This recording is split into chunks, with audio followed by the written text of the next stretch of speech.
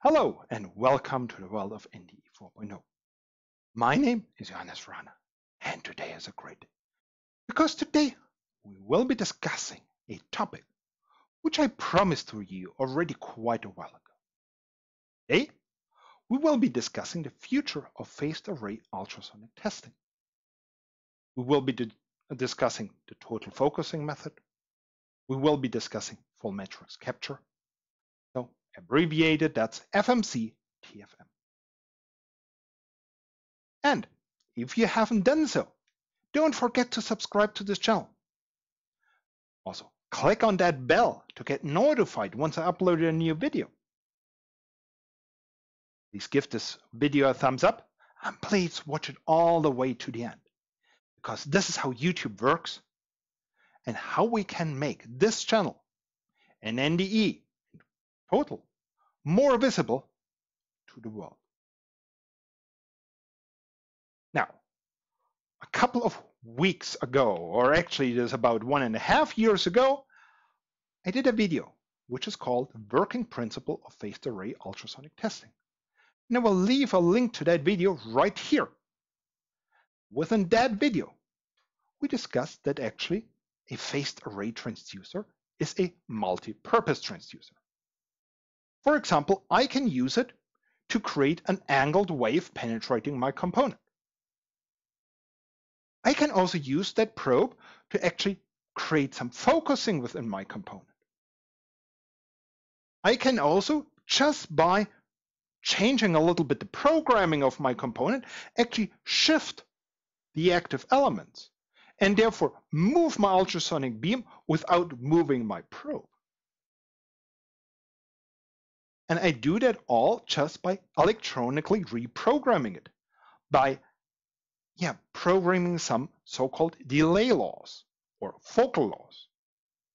And with that, I can not only do one angle, no, I can I can then say, okay, I want to do the angles from minus 20 to plus 20 degrees in a five degree interval.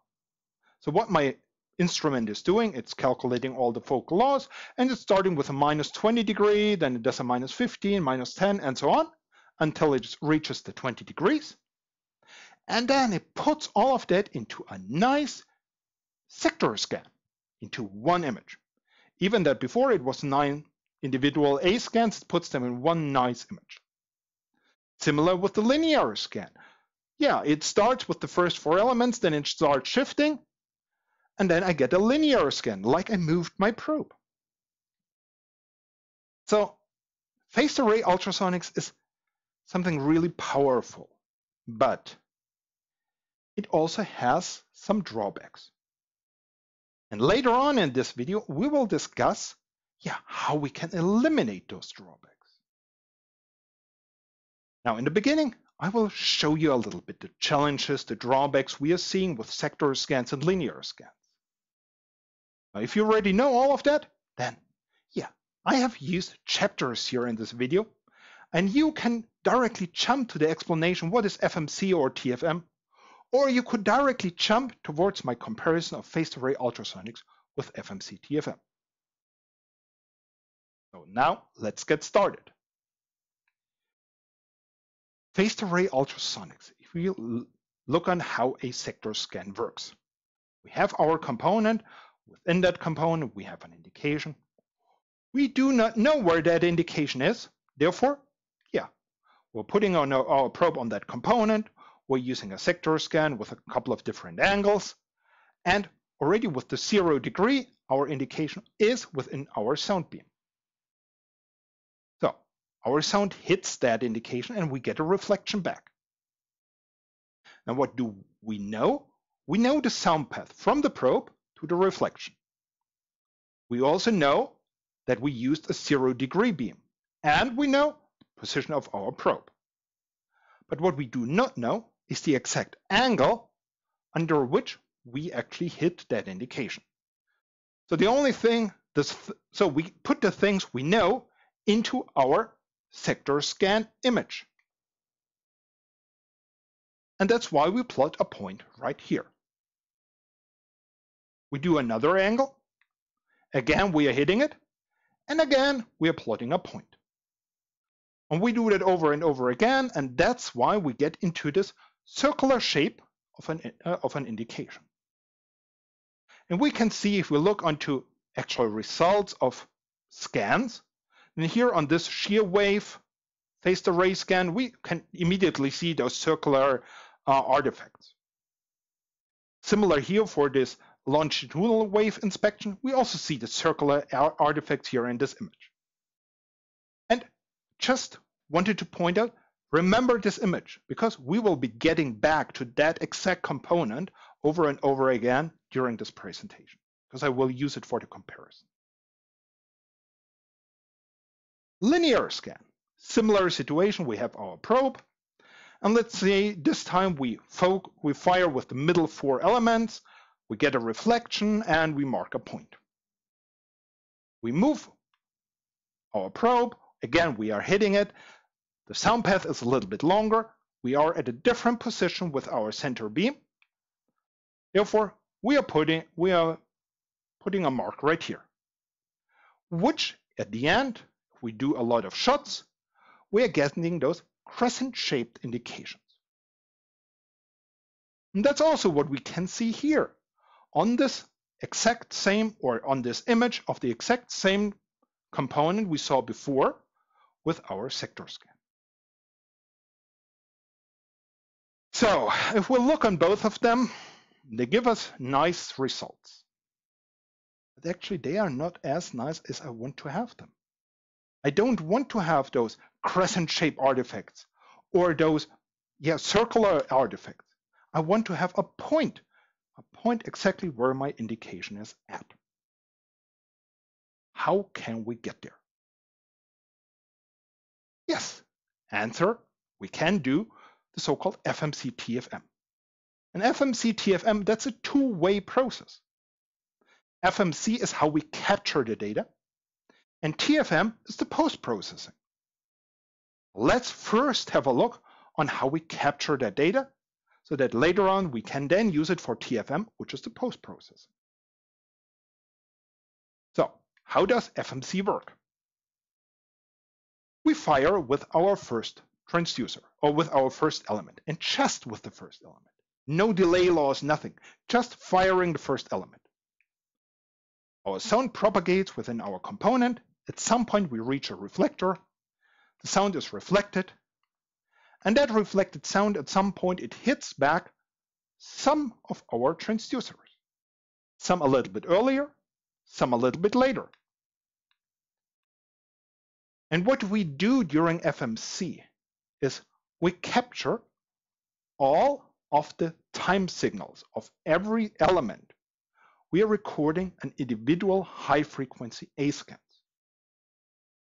So for this situation now, where we are just firing the first uh, element, we are capturing actually eight different high frequency A scans. And the same is true actually for element number two. We're firing now as a second step for element number two. Again, we are getting a reflection. That reflection reaches our uh, our individual elements one after the other. And again, we are, we are recording eight individual high frequency A scans. Now we are firing the third element, again, recording all eight high frequency A scans, element number four, five, six, seven, and eight. Each time we are recording all eight high frequency A scans. So in total, we are getting towards 64 high-frequency A scans for an 8-element probe. If we would go to a, let's say, a 32-element phased array transducer, it would take us 32 shots, and we would have to record 1,024 individual high-frequency A scans. Good part is, we don't need any special transducers we can use a standard phased array probe we're also using for phased array ultrasonics.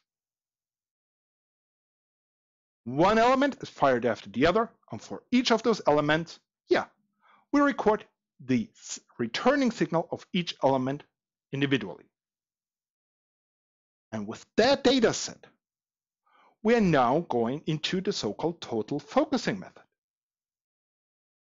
Now, total focusing method, we already have talked about a method which is pretty similar. The so-called synthetic aperture focusing technique, SAFT. Now, what we do with SAFT, with SAFT, we have here that component you see here. This is actually a huge component. This has about two meters in diameter. And what we do, we use an automated inspection system. We use classic UT on that one, not phased array. And then we move the probe one time around it. We index and we again, we move one time around it. We record all of the data. And what you see here on this uh, left image is actually the result of our classic UT. And what you can see are those crescent-shaped indications. Again, here, we do not want to have them. So what we did is we actually also used a reconstruction calculation.